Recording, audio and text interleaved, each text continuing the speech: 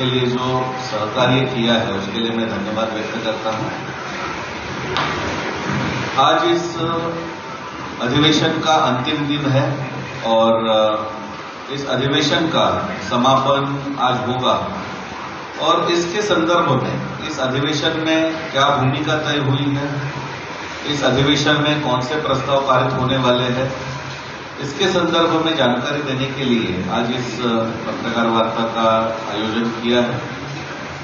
आज की पत्रकार वार्ता में हमारे साथ यहाँ पर जो मान्यवर उपस्थित है, मैं उनका परिचय करवाता हूँ। मेरे बगल में हिंदू जन जागृति समिति के राष्ट्रीय मार्गदर्शक सदगुरु डॉक्टर चारुदत्त पिंगले जी हैं। उनके बगल में त्रिपुरा से आए हुए शांतिकाली आश्रम के पूज्य चित्तरंजन स्वामी महाराज है।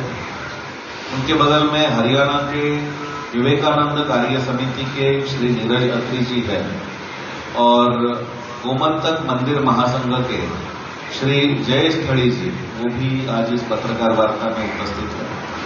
तो मैं सभी का स्वागत करता हूँ और इस आज की पत्रकार वार्ता की जो भूमिका है, वो रखने के लिए मैं सदगुरु डॉक्टर चारुदत्त पिंगले जी के चरणों में प्रार्थना करता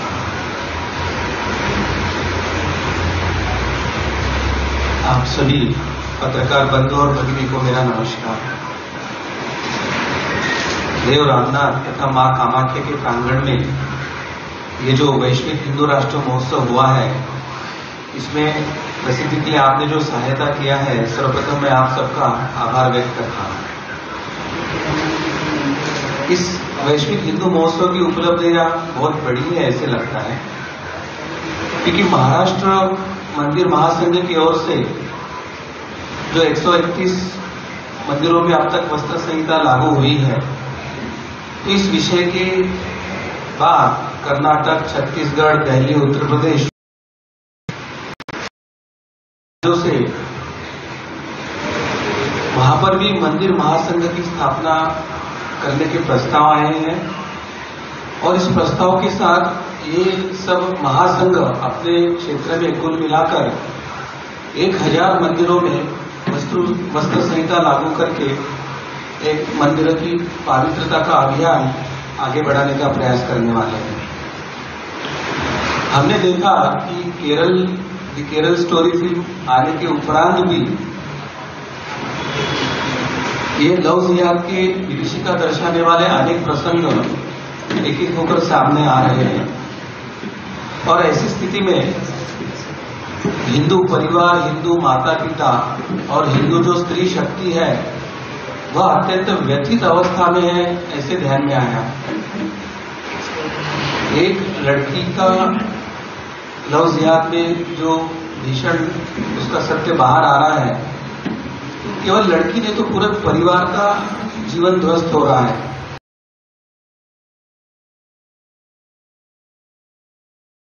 की जनजागृति करना, उनको शिक्षित करना तो इस दृष्टि से आगामी संपूर्ण वर्ष भर इस प्रकार का जन जागृति का कार्यक्रम यहाँ पर उपस्थित सभी संगठनाएँ लेने वाली है। इसी के साथ ये अभियान और हिंदू राष्ट्र की स्थापना का अभियान आगे लेके जाने के लिए, चाहे जिला हो, राज्य हो, राष्ट्रीय हो, सभी स्तर पर संगठित कार्य करने के हेतु हिंदू राष्ट्र समन्वय समितियों की स्थापना सर्वत्र होगी और इस के माध्यम से सभी संगठनाएँ, व्यक्ति, विचारक, अभ्यासक, अधिवक्ता, डॉक्टर इसके माध्यम से कार्य करने वाले हैं। अभी हिंदू जनमानस जागरूक होकर वो अपने अधिकार के लिए संघर्ष कर रहा है। यह ध्यान में आने के बाद काफ़ी पॉलिटिकल पार्टीज़ अभी हिंदू हित में विचार रखने का प्रयास कर रहे हैं।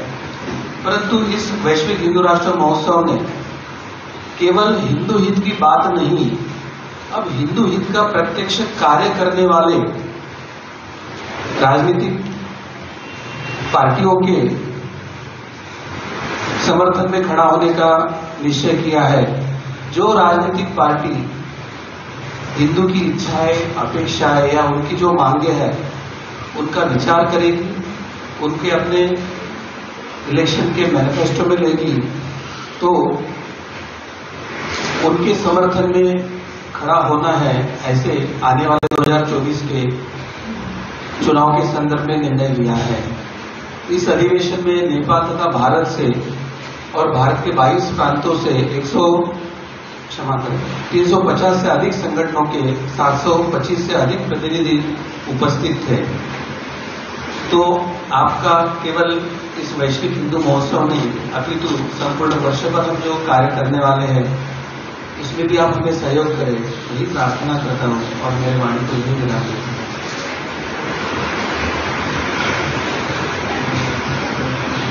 इसके उपरांत जो त्रिपुरा से शांतिकाली आश्रम से जो पूज्य चित्रंजन स्वामी महाराज यहाँ पर उपस्थित है, मैं उनके चरणों में प्रार्थना करता हूँ कि वो अपनी भूमिका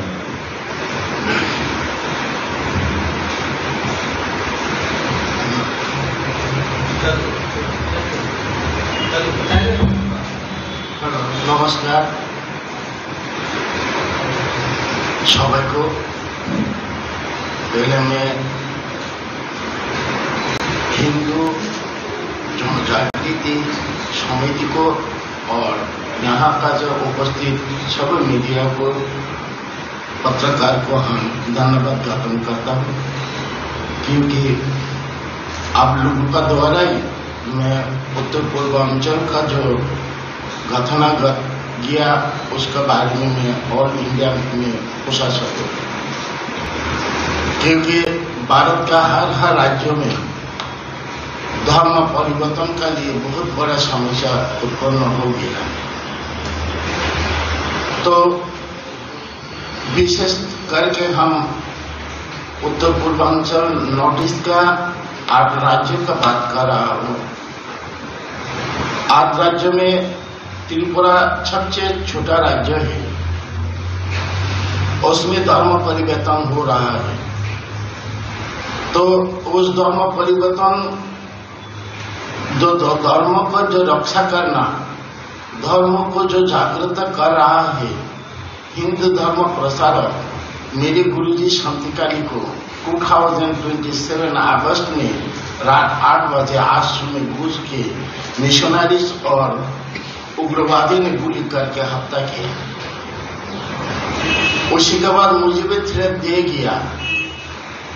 जो जगह मिलेगा, वहीं गोली करेगा वो थ्रेट दिया।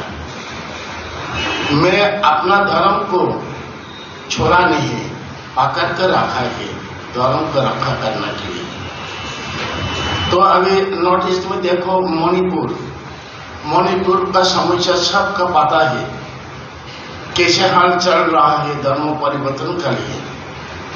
तो हम सभी जो भारतवासी जो हिंदू सनातन धर्म करने वालों को मैं अनुरोध करता हूँ जो हमारा धर्म परिवर्तन हो रहा है, उन लोगों को जो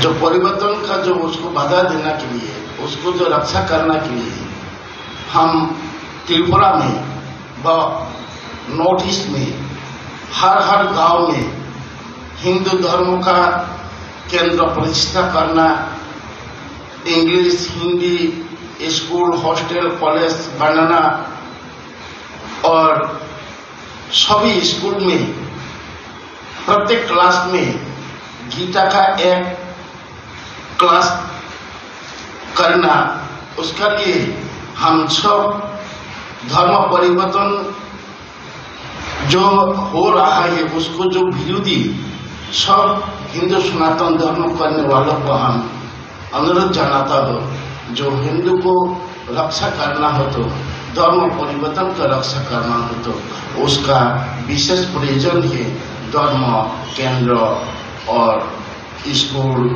हॉस्टल, कॉलेज बनाना के लिए। इसलिए हम सभी को धन्यवाद ज्ञापन करके मेरे बात यहाँ बारे में देता ओम शांति। स्वामी जी को मैं धन्यवाद देना चाहता हूँ। और यहाँ पर हम आमतौर पर देखते हैं और गोवा में भी जिस प्रकार से अभी सरकार ने पिछले साल जो ये आगे बढ़ने के बाद क्या होता है, वो त्रिपुरा में हम देख सकते हैं। स्वामी जी के जो मूल गुरु जो है, उनकी वहाँ पर, उन्होंने वहाँ पर स्कूल खोलना चालू किया। खोलना चालू किया तो उनकी स्कूलों में लोगों का जाना बंद हो गया और इससे गुस्सा होकर के, वही मिशनरीज लोगों ने प्लान करके, उनके आश्रम में घुस करके उनकी हत्या कर दी। के फोर्टी सेवन से उनका पूरा शरीर का वहाँ पर मतलब छलनी कर दिया लेकिन उनसे उपरांत भी स्वामी जी आज वही कार्य कर रहे हैं। पच्चीस से ज़्यादा आश्रम और स्कूल वहाँ पर चला रहे हैं। तो मिशनरीज की समस्या कहाँ तक पहुँचती है, ये हमारे सामने उदाहरण है। और ऐसे परिस्थिति में वहाँ पर त्रिपुरा में ये कार्य करना बहुत बड़ी बात है, लेकिन स्वामी जी वो कर रहे हैं आज भी। उसके उपरांत हरियाणा से आए हुए विवेकानंद कार्य समिति के श्री नीरज अत्री जी आज हमारे साथ हैं। मैं उनसे विनती करता हूँ कि अपना विषय भैया एक और चीज़ जो पिछले कुछ दिनों में सामने आ रही है कि जो भी लोग जो भारत की रक्षा की बात करते हैं हिंदुओं के हित की बात करते हैं, उनके जो वक्तव्य है, उनको तोड़ मरोड़ के या उनको हेट स्पीच कह के उनके ऊपर यूनिलेटरली जिसे हम एक पक्षीय कार्रवाई कहते हैं, वो की जा रही है। तो इस अधिवेशन में हमने अधिवक्ताओं से बैठ के ये भी चर्चा की कि किस तरह से इसका विरोध किया जा सकता है और कैसे ये जो एक तरह से प्रोसिक्यूशन की जा रही है हिंदू हितों की रक्षा करने वालों की, उस पर हम किस प्रकार से अपनी ओर से डिफेंस बना सकते हैं, उस पर एक तरह से नीति बनाई जा रही है। तो इस पे एक विस्तृत चर्चा की गई है इस अधिवेशन में। जी।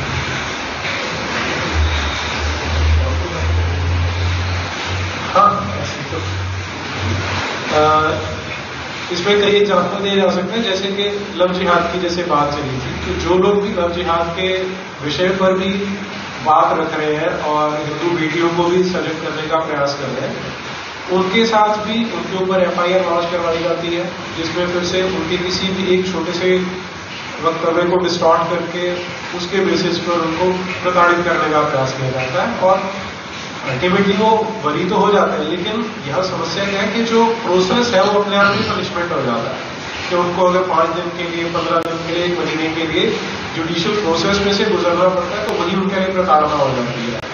इसमें महिलाओं के साथ भी हो रहा पुरुषों के साथ भी इस तरह से अत्याचार किए जा रहे हैं। और इसका हमने ये विचार किया है कि इसका विरोध भी किया जाएगा राष्ट्रीय स्तर पे, और जो संभव हो सकेगी कदम इसके बारे में उठाए जाएँगे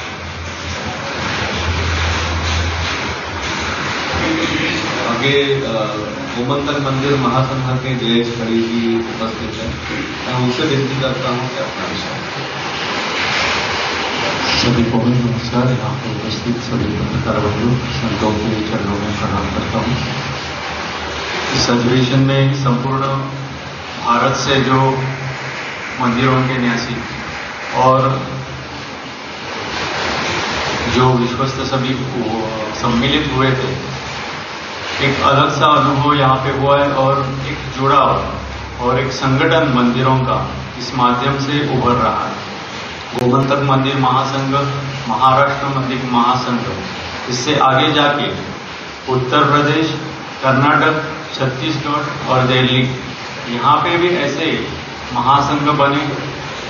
इनका संगठन हो, इस दृष्टि से यहाँ पे कुछ ठहराव और योजनाएँ बन गई है मंदिरों को सरकारीकरण एवं अतिक्रमणों से मुक्त करने की मांग प्रमुख दृष्टि से यहाँ पर रखी गई है। इसके द्वारा आगे जाके वस्त्र संहिता, इसमें जो महाराष्ट्र में खास करके प्रयत्न हुए हैं, मंदिरों में वस्त्र संहिता, वो हज़ार मंदिरों में तो लागू हो, इस तरह से प्रयास किए जाएँगे। मंदिरों की पवित्रता बनाने रखने के लिए मदिरा और मांस मुक्त मंदिर परिसर हो, ये अभियान भी यहाँ से हम लोग प्रयास करेंगे कि ये अभियान चलाया जाएगा। और एक तो मुद्दा जो है, इस बारे में हम लोग ये बताना चाहते हैं कि गोवा में जो घटनाएँ घड़ी है इस दरमियान, जैसे कि यहाँ पे छत्रपति शिवाजी महाराज का स्मारक बना और उसको विरोध हो रहा है और संगठित प्रयास से कलमगुट के शिव प्रेमी और बाकी सब जो गोवा से शिव प्रेमी आए थे उन्होंने वो स्मारक जो हटाने की कोशिश हो रहे थे, उसको, उसके विरोध में आंदोलन किया और वो आदेश भी पंचायत का रद्द हुआ है। तो उनका भी यहाँ इस विश्व हिंदू राष्ट्र महोत्सव में कल सत्कार हुआ है। उन, उनको प्रोत्साहित किया गया कि इस तरह से हम लोग सभी इकट्ठा होके जो कुछ भी ऐसे विरोध हो रहा है उसमें संगठित प्रयास किए जाएँगे। और एक बात आखिर में मैं बोलना चाहता हूँ गो गोवा सरकार और हमारे जो मुख्यमंत्री जी हैं श्री प्रमोद सावंत जी उनका अभिनंदन हम लोग कर रहे गोमतक महा मंदिर महासंघ इस माध्यम से कि हमारी जो राजधानी है पणजी में, वहाँ पे गोमंतक भूमि के जनक भगवान परशुराम जी, उनका एक स्मारक यहाँ पे बन गया इस कालावधि में और ये सभी को ऊर्जा देने वाली और दिशा देने वाली एक घटना है। उनका भी हम लोग इस माध्यम से अभिनंदन करते हैं। धन्यवाद। कुल मिलाकर के इस अधिवेशन में जो प्रस्ताव मुख्यतः पारित किए जाने वाले हैं उसमें जैसे भारत को हिंदू राष्ट्र करने के दृष्टिकोण से प्रयास हो लव जिहाद के बारे में कानून हो, या गोवंश हत्याबंदी के बारे में उसके संदर्भ में कानून हो, हलाल सर्टिफिकेशन को जो मान्यता मिल रही है, उसको रोकने के दृष्टिकोण से प्रयास हो या प्लेसेस ऑफ़ वर्शिप एक्ट और वकफ एक्ट जो है तो ये जो कानून बन करके हमारे मंदिरों की ज़मीन के ऊपर जो कब्जा हो रहा है या भारत की सरकारी ज़मीन के ऊपर जो कब्जा हो रहा है तो उसको रोकने के दृष्टिकोण से प्रयास है। अभी सरकार ने यूनिफॉर्म सिविल कोड की बात की है, उसके बारे में जनता की मांगे रखी है, लेकिन सिर्फ़ यूनिफॉर्म सिविल कोड करने से नहीं होगा इसलिए उनके साथ में पॉपुलेशन कंट्रोल बिल लाना आवश्यक है। इसलिए हमने ये बात रखी कि यूनिफॉर्म सिविल कोड तो होना चाहिए, लेकिन उसके साथ में जनसंख्या नियंत्रण भी होनी चाहिए। तो इस दृष्टिकोण से प्रयास किया जाए। कश्मीर के जो हिंदू हैं तो उस दृष्टिकोण से उनका जो वापसी है तो आर्टिकल 370 सरकार ने हटा दिया है तो उसका तो सभी ने स्वागत किया है। लेकिन अभी जो कश्मीर के हिंदू है, वो अभी भी वापस नहीं जा सकते हैं। तो इसके लिए जो सुरक्षा है और इसके लिए ये जो पूरा एक वर्ष का पच्चीस संगठन के प्रमुख यहाँ पर आए थे तो ये जो यहाँ से दिशा लेकर के जाएँगे तो अब पहली बार हमने ऐसे सोचा है कि यहाँ केवल हिंदू राष्ट्र की बात करके नहीं होगा तो हमें पूरे एक वर्ष तक इसको आगे लेकर के जाना है, इसलिए पूरे भारत के राज्यों में जिला लेवल में, तालुका लेवल में हिंदू राष्ट्र कोऑर्डिनेशन कमेटी यानी हिंदू राष्ट्र समन्वय समिति का इस बार गठन किया जाएगा। हर डिस्ट्रिक्ट लेवल पर हिंदू राष्ट्र कोऑर्डिनेशन कमेटी होगी, हर तालुका लेवल पर होगी, हर राज्य के लेवल पर होगी। तो राज्य से अब हम प्रारंभ करके इस लेवल पर लेकर जाने का प्रयास कर रहे हैं और जितने भी संगठन पूरे भारत से आए हैं सभी ने कहा है कि हम इस कोऑर्डिनेशन कमेटी का पार्ट बनेंगे और हमने उनसे कहा है कि यहाँ सभी को हम बुला नहीं सकते, क्योंकि जगह की मर्यादा है, संसाधनों की मर्यादा है। लेकिन हर संगठन जो यहाँ पर आया है, वो अपने साथ दस संगठनों को उसके अंदर जोड़े। तो इसके द्वारा पूरे भारत में यदि हम देखेंगे कि 725 संगठन के प्रमुख हैं तो सात हज़ार से ज़्यादा हिंदू राष्ट्र कोऑर्डिनेशन कमेटी के सदस्य तो यही पर बन जाएँगे तो इसलिए, क्योंकि हम जिस लेवल पर बात कर रहे हैं, उसको आगे लेकर के जाना भी बहुत ज़रूरी है। तो इसके लिए भी प्रयास होगा। लव जिहाद के विरुद्ध, जैसे हर वर्ष एक कैंपेन हम तय करते हैं कि पूरे वर्ष में ये कैंपेन चलेगा। तो केरला स्टोरी आ गई लोगों के मन में या लोगों के द्वारा एक थोड़ा सा जागृति हो गई, लेकिन केवल सिनेमा देखने से कहीं पर बहुत बड़ा बदलाव नहीं होता है। इसलिए उसकी गंभीरता को लेकर के जाना, उस गंभीरता को बताना, इसकी बड़ी आवश्यकता है। इस दृष्टिकोण से लव जिहाद के बारे में जागृति हो, इसके बारे में भी प्रयास किया जाएगा।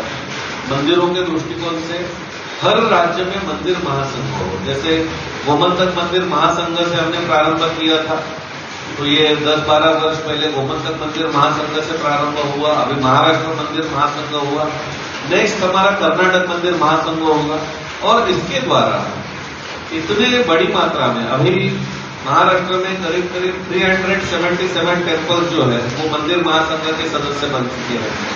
तो केवल चार महीनों में इतने मंदिरों के महासंघ के सदस्य बने हैं तो इसको भी आगे लेकर के जाना चाहिए। और जैसे आप पत्रकार बंधुओं ने सूचित किया था कि ये जैसे यहाँ पर केवल कैसिनो चल रहा है ऐसे नहीं, अभी तो ये घर घर पहुँच रहा है मोबाइल में पहुँच रहा है। तो इसके लिए जो ये ऑनलाइन रमी गेम जो अभी चालू है, और ये ऑनलाइन रमी गेम का एडवर्टीजमेंट कौन कर रहा है? तो सारे क्रिकेटर्स कर रहे हैं, सब हमारे फ़िल्म एक्टर्स कर रहे हैं। क्या उसमें से कोई भी फ़िल्म एक्टर या क्रिकेटर जो है वो इतना इस लेवल पर आ चुका है कि वो ये कह रहा है कि नहीं नहीं, अभी तो मैंने ऑनलाइन रमी खेला और अभी मुझको स्विफ्ट गाड़ी मिल गया। अभी ये सब जो है तीन तीन करोड़ का गाड़ी में ये रोल्स रॉयल्स में घूमने वाले लोग, ये स्विफ्ट के लिए कोई ऑनलाइन रमी खेलता है? और उसमें भी अभी भगवान का चित्र डालते हैं। अभी रिसेंटली एक ऑनलाइन रनिंग गेम में उन्होंने भगवान गणेश जी का चित्र यूज़ किया है। तो अभी हमने इस अधिवेशन में भी ये चर्चा की। पहले से ही हिंदू जन जागृति समिति देवताओं के प्रति बहुत ज़्यादा कटिबद्ध है।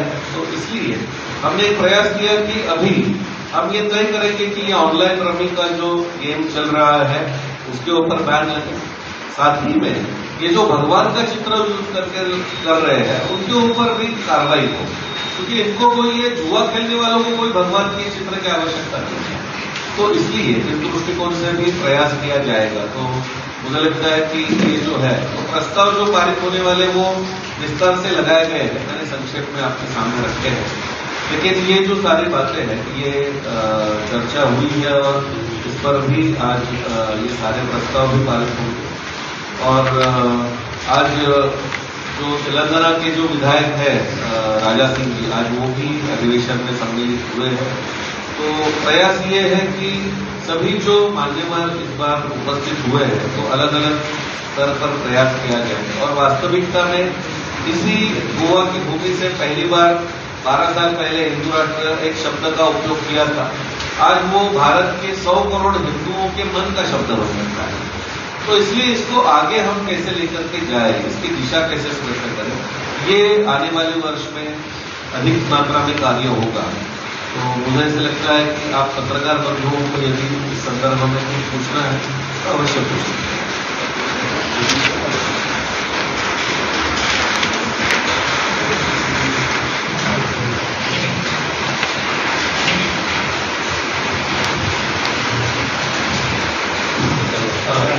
हेलो। एक प्रश्न आहे, मंदिर महासंघ जयस्थळीसाठी इथे आपण एक मागणी करता गोहत्या बंदी कायदा आणावा. आणि दुसऱ्या बाजूने आपल्याकडे ही जरी श्रीमंत मंदिर आहे त्यांची उलाढाल कोट्यवधी रुपये आहे आणि त्यांच्याकडून या गुरांचं एक ट्रीटमेंट केंद्र सुद्धा खुला होत नाही कारण हा पैसा लोकांचा म्हणजे भाविकांचा आहे. एका बाजूने आपण मागणी करायची बंदी. आणि त्यांची जर एखादं काय अपघातात जखमी झाली तर एक ट्रीटमेंट केंद्र सुरू केलं पाहिजे. त्यावर तुमचं काय मत आहे? जी मोठी मंदिरं आहे त्यांनी त्यांच्याकडे खूप पुष्कळ जागा आहे. एक दोन डॉक्टर ठेवून जर ट्रीटमेंट केंद्र केली यांची म्हणजे गुरांची सेवा होईल जे अपघातात जखमी त्यांना पण ट्रीटमेंट मिळणार. नमस्कार. इस बारे में गोवा में जो गौशाला है जो स्ट्रीट कैटल्स है, उनके लिए गोवा छोटा होने से बहुत जगह से अभी स्ट्रीट कैटल्स लेके जा रहे हैं। जैसे कि मय में आपको मालूम रहेगा, सिकेरी, उधर गौशाला है। अभी जो प्रबोधन चल रहा है मंदिरों में, उनसे भी संपर्क है। आपका प्रश्न बिल्कुल सही है।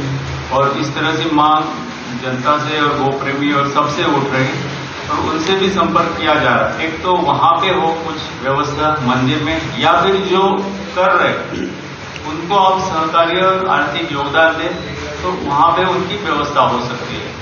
जिस तरह से बहुत सारे पंचायत से ये व्यवस्था हो चुकी है मई में और और भी बाकी जो गौशाला है एरिया के तो हैंडल कर सकते हैं। कर सकते हैं, पंचायत में एक बड़ा मंदिर है वही आप हैंडल कर सकते हो। बड़े एक पिछला में गौशाला उधर बहुत सारे पंचायत है वो ट्रीटमेंट नहीं कर पाते हैं। और एक बार कॉल किया ना सुबह अगर किसी को एक्सीडेंट हुआ है तो शाम को पहुँचते हैं इधर। तो अपने एरिया में ही पहुँचा तो बहुत हर मंदिर अच्छा सुझाव है। हम लोग इसके ऊपर भी उनसे बात करेंगे। और ये ये भी हो रहा है कि एक ही जगह होने से वो व्यवस्था पे ज़्यादा लोड होता है तो इसके लिए वो अलग अलग जगह पे भी कोशिश चल रही है। मैं जनरल क्वेश्चन पूछ रहा हूँ कि मंदिरों के बारे में आजकल हमारे गोवा में भी बड़ी बड़ी मंदिरें हैं। उन लोग के पास बहुत सारा पैसा है, सर। उन लोग के पास बहुत सारा पैसा है।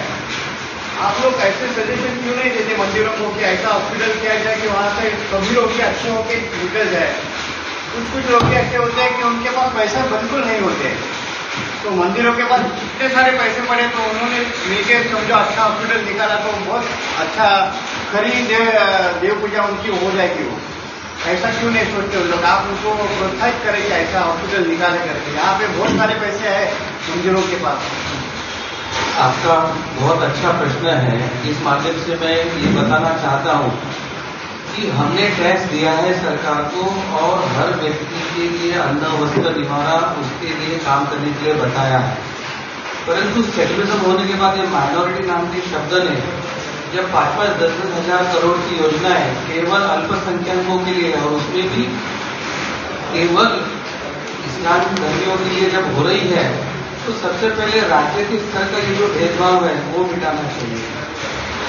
क्योंकि उसके लिए जनता ने अपना योगदान टैक्स के माध्यम से दिया है ये पहली बात। और दूसरी बात, आपका जी सूत्र योग्य है।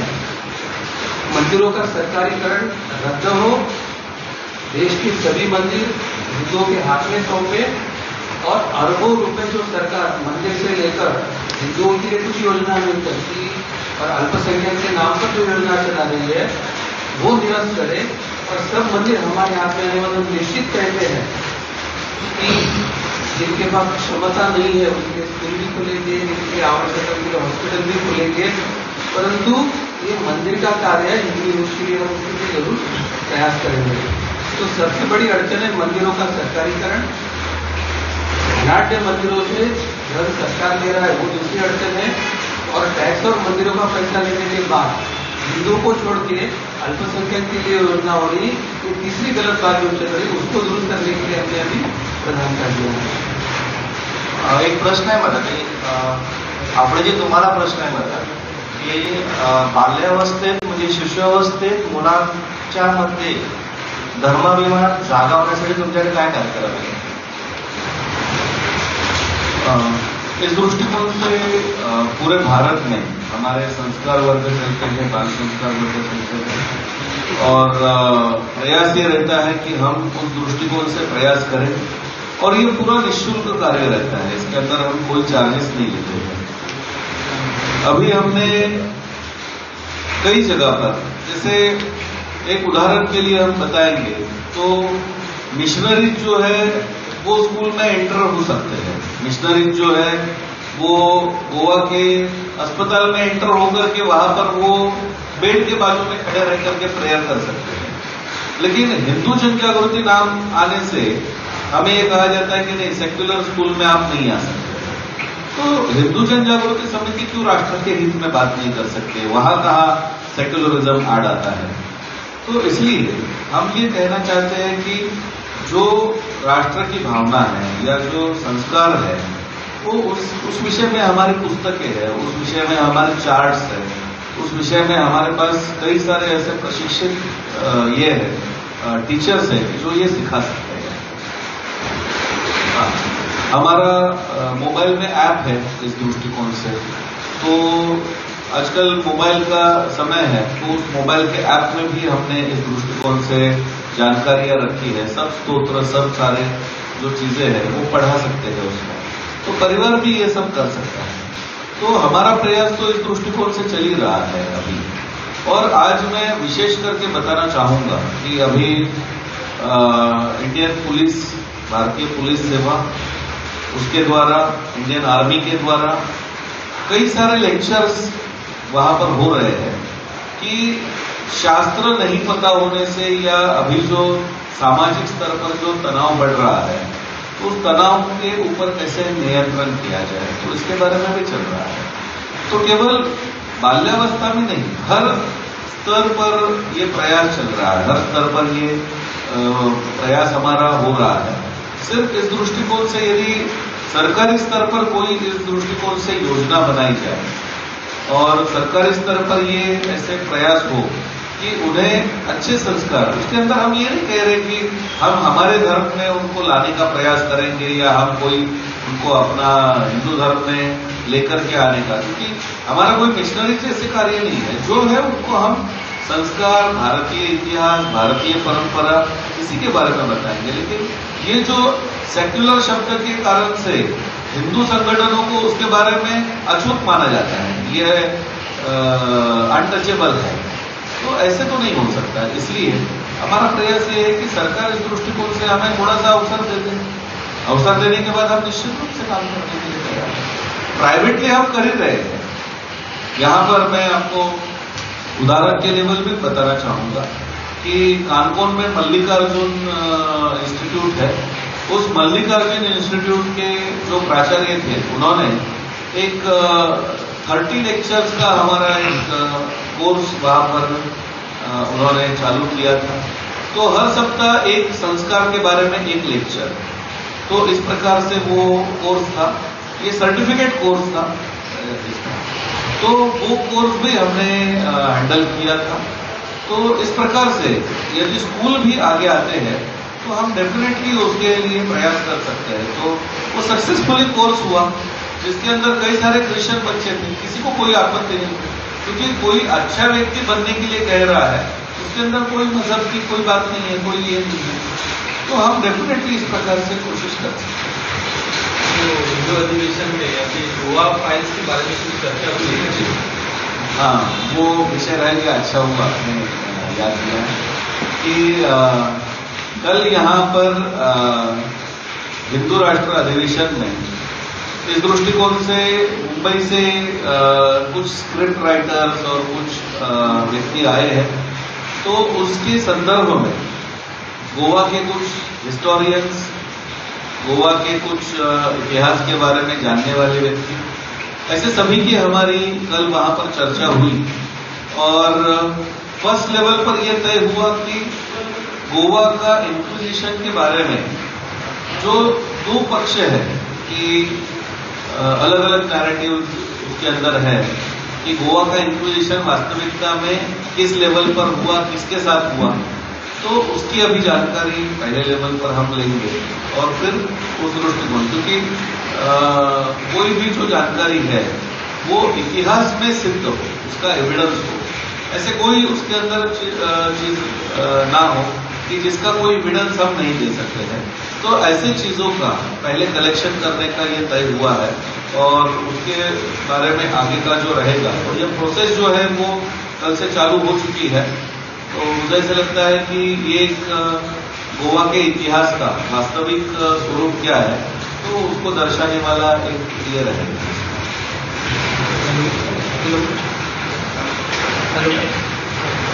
रामनाथ में हो रहे राष्ट्रीय अधिवेशन में। स्टार्टिंग में आप लोगों ने एक गौहत्या के बारे में, एक भाजपा पर खूब बहुत उम्मीद रखी।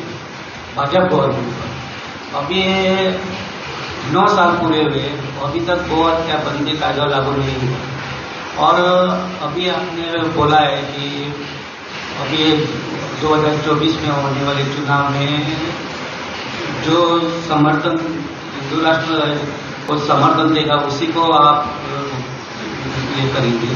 तो क्या बीजेपी अच्छा काम नहीं कर रहा है? ऐसे तो हमने बोला ही नहीं है। कैसे है? सरकार और सरकार की लिमिटेशंस अलग अलग है। कुछ चीज़ें राज्य में हो सकती है, कुछ चीज़ें केंद्र में हो सकती है। 2024 का चुनाव राज्य का नहीं है, केंद्र का है। तो केंद्र के दृष्टिकोण से कौन सी चीज़ें कर सकते हैं? जैसे उदाहरण के लिए महाराष्ट्र में सकल हिंदू के मोर्चे निकले। लाखों की संख्या में मोर्चे निकले। लाखों की संख्या में लोग आए। तो महाराष्ट्र में तो हम ये कह ही रहे हैं कि वहाँ पर एंटी कन्वर्जन एक्ट आना चाहिए। गोवा में भी हम कह रहे हैं एंटी कन्वर्जन एक्ट आना चाहिए। ये तो होना ही चाहिए। लेकिन साथ में हम ये कह रहे हैं, यदि ये केंद्र से ही आएगा तो राज्य को तो उसको ये करना ही पड़ेगा। तो इसलिए ये जो मांगे हैं, वो हमने सेंटर के दृष्टिकोण से रखी है कि सेंटर के दृष्टिकोण से वो जो भूमिका तय करेंगे। अभी आप देख सकते हैं कि कर्नाटक के चुनाव के दरमियान तो भारतीय जनता पार्टी ने ये भी कहा कि हम, हमारी सरकार आएगी तो मंदिर मुक्त करेंगे। अभी मध्य प्रदेश के मुख्यमंत्री ने भी कहा कि अगले चुनाव में हमारा ये रहेगा कि हमारी सरकार मंदिरों को मुक्त करेगी। तो जैसे वो डिसीज़न कर रहे हैं एक एक हिंदू हित में, अभी यूनिफॉर्म सिविल कोड का आ गया वैसे हमारा भी कहना है आप ये जो चीज़ें कर रहे हो, उसके अंदर हमारा ये भी मांग है। तो इस दृष्टिकोण से ये सरकार को तो हम बता रहे हैं कि भाई, ये हमारी मांग है, ये हमारी इच्छा है। तो मुझे लगता है कि केंद्र की सरकार इसके बारे में निश्चित रूप से सोचेगी। और कांग्रेस तो आप ये खुले हम कह रहा है कि यदि ये उनकी सत्ता आएगी तो बजरंग दल को बैन कर देंगे। तो वो यदि हिंदू विरोधी इस प्रकार से, आज तक मैंने कभी सुना नहीं कि एक संगठन या एक पॉलिटिकल पार्टी अपने इलेक्शन एजेंडा में एक हिंदुत्ववादी संगठन को बैन करने का डिमांड कर रहा है। ये कैसे संभव हो सकता है? किसी राज्य के पास किसी संगठन को बैन करने का कोई अधिकार नहीं है। है क्या? तो इतनी मूर्खतापूर्ण बात आप इलेक्शन के एजेंडा में ला रहे हैं तो हमें भी तो कुछ कहना पड़ेगा तो इसलिए ये जो हमारी भूमिका हम केंद्र को बता रहे हैं। लास्ट ईयर एक सवाल मेरा था, आज भी वही दोहरा रहा हूँ कि प्रमोद मुतालिक बीजेपी सरकार है लेकिन प्रमोद मुतालिक आज भी क्यों? सरकार डर रही है क्या? आप कर रहे देखिए इस दृष्टिकोण से मैं सबसे पहले तो ये कहना चाहूँगा कि इस अधिवेशन में हमने ये हमेशा से भूमिका रखी है और इसका केस सुप्रीम कोर्ट में चल रहा है। तो ये बार बार जो आ, उनको जो बैन करना जो बढ़ाया जाता है और विशेष करके अधिवेशन आने से पहले दो महीने ये बैन बढ़ाया जाता है। तो ये जो ये पूरी तरीके से गलत है। भारत में रोहिंग्या आकर के बस रहे यहाँ पर। बांग्लादेशी आकर के बस रहे हैं। तो प्रमोद मुतालिक कौन सा इंटरनेशनल है? प्रमोद मुतालिक को कर्नाटक में रहने के लिए सुविधा है। वो तेलंगाना में जा सकते हैं। वो केरला में जा सकते हैं। वो दिल्ली में जा रहे हैं। तो कहीं पर बैन नहीं, गोवा में आकर के उन्होंने क्या किया है? ऐसा क्या गोवा में उनके ऊपर कोई पुलिस केस है? क्या गोवा में उनके कारण से कोई दंगा हुआ है? कुछ भी नहीं हुआ है। तो ये एडमिनिस्ट्रेटिव सिस्टम में जो आगे लेके जाओ, ये पूरी तरीके से असंवैधानिक बात है। दुर्भाग्य हमारा ये है कि ये अनकॉन्स्टिट्यूशनल बात होने के बाद भी इसको पेंडिंग पेंडिंग केस में चलाया जा रहा है। तो हमारा ये प्रयास रहेगा कि इसको और थोड़ा फास्ट ट्रैक पर लिया जाए तो निश्चित रूप से इसके बारे में ये मुद्दा जो है वो समाप्त हो सकता है।